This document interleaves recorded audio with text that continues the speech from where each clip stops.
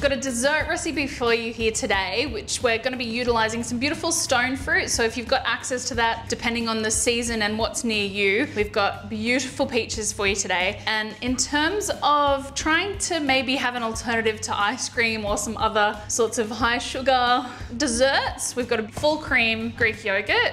So the sourness in that will really complement the sweetness of our peaches. So I'm going to heat some thyme up first in there. And then we're going to grill the peaches over the top of that. You can choose whether or not you want to serve the thyme with your dessert or not. You can certainly serve it as a nice visual reference as to the flavors that are going to be coming up. The guests don't necessarily have to eat it. So some nice heat coming off there. I'm going to place our peaches flesh side down. There's enough natural sugars in there that they will start to caramelize on their own. So some of them will have more contact with the heat, some of them will be in direct contact with the thyme. Just such beautiful colors. I'm just always excited for stone fruit season. So we can sort of let them go at a medium to high heat for up to five minutes before we flip them. We want that surface to have some char marks, but also the flesh inside starting to heat and starting to collapse a little bit.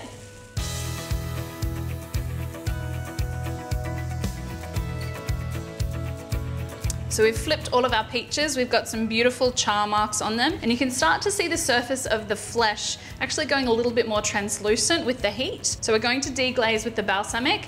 Now, if you get stand too close to this, the aromas might be a little much to take in, but it's also gonna help steam the bottom of these peaches. So I'm gonna pour it on a little bit on the peaches, a little bit on the pan.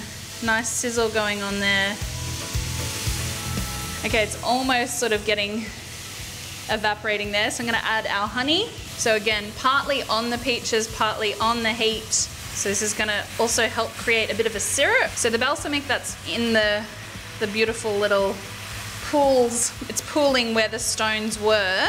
You're gonna have some of that fresh balsamic flavor and then on the bottom it's gonna be a little bit more gnarly, deeper, darker, richer. So this is nearly done. I'm gonna turn it right down, our lowest setting.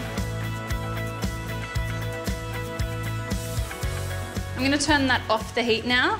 We know that we've got charry top, slightly steamed bottom, and then in the center it'll probably still be quite raw. So we're gonna have three textures of peaches going on there. Pretty much one cooking technique, so we've got maximum flavor. I'm gonna start plating up my yogurt so that we can position our, our peaches on our bowls.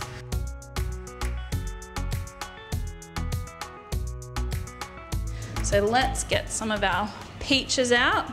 So I'm gonna give each of my guests one peach each.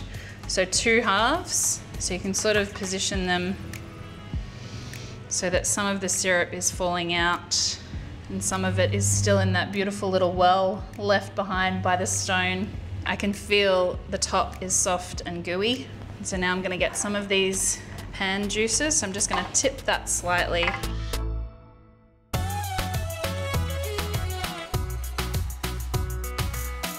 Stone fruit and almonds go beautifully together. So to create another texture and another little visual component, and because this is sort of a savory salad, add a few little nuts, another texture, another component there. And there is my super simple stone fruit and yogurt dessert that I think any of you can achieve in just a few minutes at home yourselves.